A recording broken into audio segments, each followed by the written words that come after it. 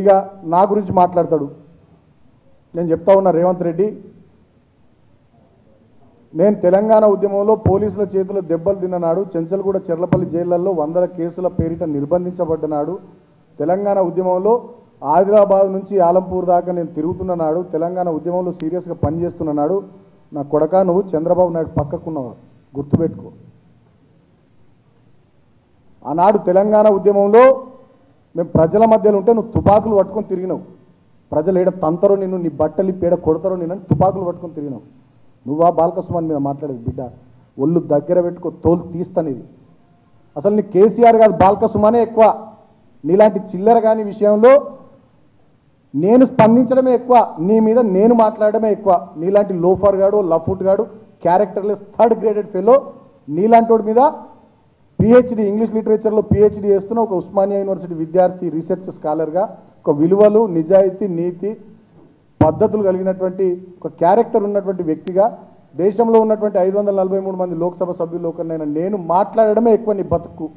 ఇంకా నీ బతుకు కేసీఆర్ స్పందించాలి కేటీఆర్ స్పందించాలి టీఆర్ఎస్ పార్టీ ముఖ్యులు స్పందించాలా? నువ్వు పెద్ద పీకుడు గాడివి నువ్వు పెద్ద పోటు గాడివని నువ్వు తెలంగాణలో తిరిగితే ఏమో అయిపోతుంది? తిరగలేవబొచ్చు సింగరేణి ఎన్నికలలో ఏమైంది?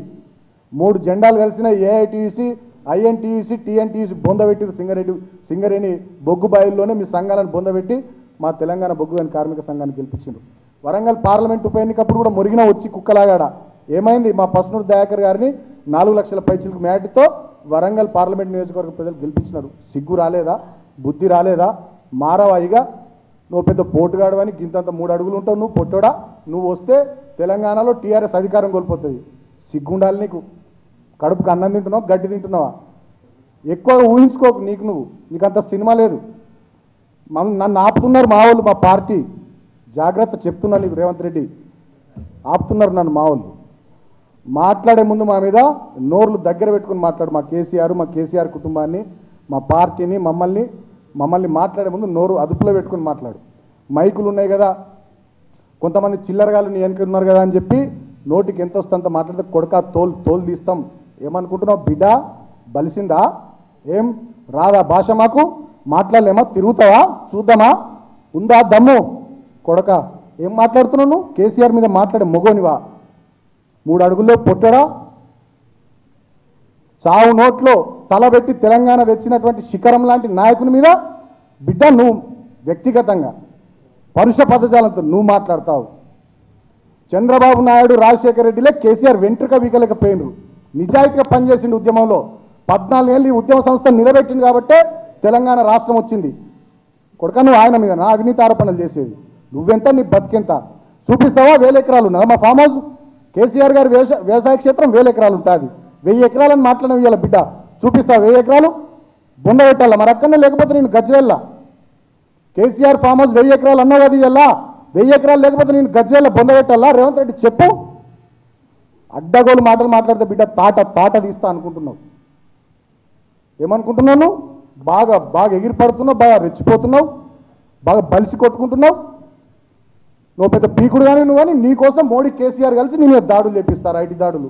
నువ్వు బొచ్చు కానివి నీతో అయ్యేదేంది పోయేదేంది నీ మీదనట నువ్వు పెద్ద అది కేసీఆర్ మోడీ కలిసి నువ్వే పీకుతావు పొడుస్తావు అని చెప్పి నీ మీద ఐటీ దాడులు. మా పట్ట బినామీ ఆస్తులు. అసలు ఈ పదానికి అర్థం తెలుసా అంటున్నా. ఓడైతే పార్లమెంట్ సభ్యుడు. మళ్ళీ చదువుకున్నా అంటాడు అప్పుడప్పుడు. ఇక కేసీఆర్ తాగినప్పుడు తినేసిన బొక్కలు తినే నాయలు కూడా ఇట్లాంటి మాటలు మాట్లాడుతారు ఆయన తినంగా నమలలేక ముసల్తానం వచ్చి పండ్లు సక్కలేక నమలకుండా పక్కన పడేసిన బొక్కలు నమిలి కూడా నా గురించి నా కుటుంబం గురించి బినామీ ఆస్తుల గురించి మాట్లాడుతారు ప్రధానంగా అందులో వాళ్ళు ప్రస్తావించింది నాకు పిల్లనిచ్చిన మామ గురించి మా సతీమణి సోదరుడు గురించి లేకపోతే మా బంధువర్గాల గురించి దగ్గర మిత్రుల గురించి. నేను ఒకటే చెప్పదలుచుకున్నా. నాకు పిల్లనిచ్చిన ఆయన పేరు మాడుగుల మండలం వాళ్ళ నాయన పేరు దుర్గారెడ్డి. వాళ్ళ సోదరులు కూడా రాజకీయాలలో ఉన్నారు వాళ్ళ గురించి నేను చర్చించదలుచుకోలేదు. మీరు ఆ మాడుగుల గ్రామానికి వెళ్తే నా పిల్లనిచ్చిన ఆయన తండ్రి దుర్గారెడ్డి.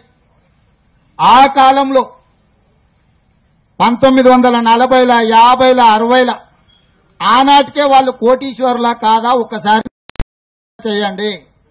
వందల ఎకరాల భూములు ఉన్న వాళ్ళ కాదా? విచారణ చేయండి. ఆ కాలంలోనే వాళ్ళకి హైదరాబాద్లా గజాలల్లో కాదు హైదరాబాదు నడిబొడ్డున ఎకరాలలో ఆస్తులు ఉన్నోళ్ళు కాదా? విచారణ చేయండి. అంతెందుకు? ప్రొఫెసర్ కోదండరామ్ గారి ఇల్లు ఉన్న తార్నాకలో ఆ లేఅవుట్ అంతా కూడా వాళ్ళ భూమి గజాలలో ఉన్న వాళ్ళ భూమిని రియల్ ఎస్టేట్ వ్యాపారస్తులు కొనుక్కొని గజాలలో చేసి అమ్మితే వచ్చిన లేఅవుట్లోనే ప్రొఫెసర్ కోదండరామ్ గారు ఇల్లు కట్టుకొని ఉన్నారు. నేను పుట్టక ముందు నాకు పిల్లనిచ్చిన మామ పుట్టక ముందు వాళ్ళు కోటీశ్వరులు. ఆ కాలంలోనే వందల వంద గ్రామాలలో దాదాపుగా రైతులకు దుర్గారెడ్డి అనే అతను. ఇది చరిత్ర నిజ నిర్ధారణ కమిటీ. కల్వకుర్తి నియోజకవర్గంలో అటు పక్కన దేవరకొండలో గాని నా- నల్గొండలో కొంత ప్రాంతం గాని మహబీనగర్లో కొంత ప్రాంతం దాదాపుగా ఒక వంద గ్రామాలల్లా పాత తరం వాళ్ళని అడిగితే దుర్గారెడ్డి ఎవరు? ఆయన ఆర్థిక స్థితిగతులు ఏంటివి అనేటివి చెప్తారు. అలాంటి ధన అగ ఆగర్భ శ్రీమంతులైన వాళ్ళను తీసుకొచ్చి నా బినామీలుగా చిత్రీకరిస్తుందంటేనే వీళ్ళు ఎంత మానసిక రోగంతో బాధపడుతున్నాడో చంద్రశేఖరరావు గారు మీరు ఆలోచన చేయండి. నేను పెళ్ళి చేసుకునే తొంభై రెండు. నా పెళ్ళి కంటే ముందే వాళ్ళకి బంజారా సిటీలో కోట్ల రూపాయల ఆస్తులు ఉన్నాయి నాకు పిల్లనీయ కంటే ముందు. ఈ ప్లాట్ కూడా పిల్లనీయ కంటే ముందే కొన్నారు నాకు తెలిసినంత వరకు. ఇప్పుడు కూర్చున్నది కూడా వాళ్ళది ఈ ఖాళీ ప్లాట్ కూడా. అది నాది ఇది మా బామ్మారిది ఆ పక్కన అమ్మింది. ఇట్లాంటి జూబ్లీ హిల్స్నే చాలా ప్లాట్లు అమ్ముకోవాల్సి వచ్చింది. కాబట్టి వాళ్ళ ఆర్థిక స్తోమత ఏందో ఒకసారి అంచనా వేయండి.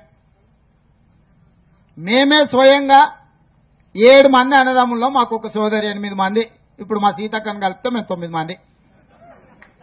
ఎవడి మీదనో ఆస్తులు పెట్టాల్సిన కర్మ మాకెందుక? మా ఇంటి నిండనే వంద కిలోల బస్తా ఉంటే ఒక రోజుకి సరిపోనంత కుటుంబ సభ్యులు ఉన్నాం మేమే.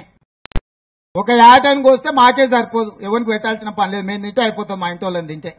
మేము మా అన్నదమ్ముళ్ళు మా అన్నదమ్ముల పిల్లలు మేము మేము అందరం మా కుటుంబం కూర్చుంటేనే మేము గంతమంది ఉన్నాం.